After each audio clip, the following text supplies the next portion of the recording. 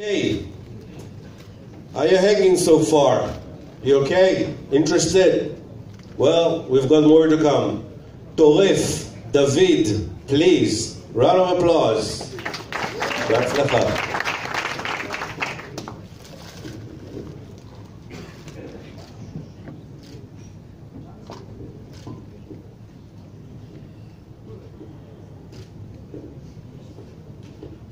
All right. So, in Operation Tzuk Eitan, a colleague of mine found himself in a difficult situation. During a heated firefight, his weapon malfunctioned. With great risk to his life, he decided to fix his weapon and return fire, only to discover his weapon had malfunctioned again. Could you imagine? At that moment, when he needed his weapon the most, it failed. Thankfully, this incident ended well.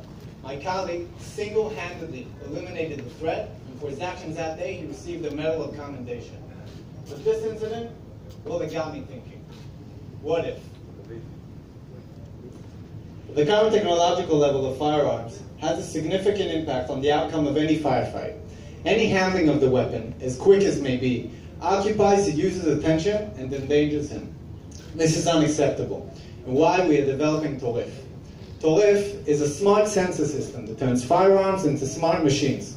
Strategically located sensors, combined with machine learning algorithms, are able to report in real time anything that happens in the weapon.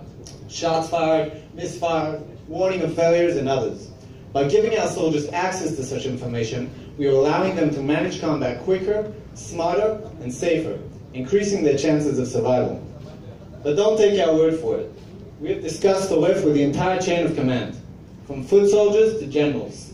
And the feedback, well, it's very good. We have even discovered Toref solves issues in training, maintenance, and high-rank decision-making. Meaning, Toref does not only impact the soldier on the battlefield, it impacts the entire organization. And thus Israelis were not the only ones to say so. We know for a fact that Western militaries, police forces, and professional shooting contestants are in need for such a technology. This is probably why some of the biggest companies in this domain have offered to collaborate with us. Such partnerships will allow us to sell OEMs and standalone products. Basically, we will be able to maximize this $14 billion market. But our real secret sauce, it's not the market need and it's not the technology. It's actually the team. Yuda has been, is an outstanding algorithm engineer. David has been managing R&D for almost a decade. Oz has managed to integrate unique solutions into Israeli Special Forces. And me, well, I'm just a user. But together, we've managed to successfully prove our concept, and we are now developing our prototype. Obviously, there is a long way ahead of us. But we have the right team, we have the right solution, and we are at the right time. And in not too long, we will take part in this future soldier vision. Thank you. Woo! Thank you, David. Toref. Judges, please. Yeah? Are any of the guns today being manufactured with a smart system installed already? No, absolutely not. Not that we know of. Not that you know. No. There's, I'll just uh, give uh, an answer why. There's, uh, it may sound simple, what? So we'll just put some sensors on a, uh, on a weapon and then we'll just be able to analyze what's happening in the weapon. It's not simple at all. Because you need to, uh, you need to differentiate between things that are happening inside the weapon's mechanism and things that are happening on the outside. And that's, that's what we're doing is unique in that way.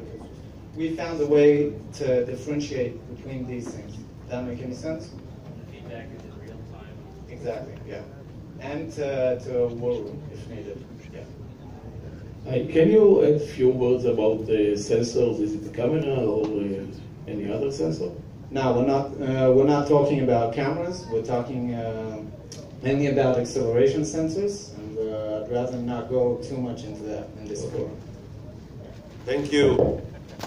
Thank you very much. Thank you, Colette.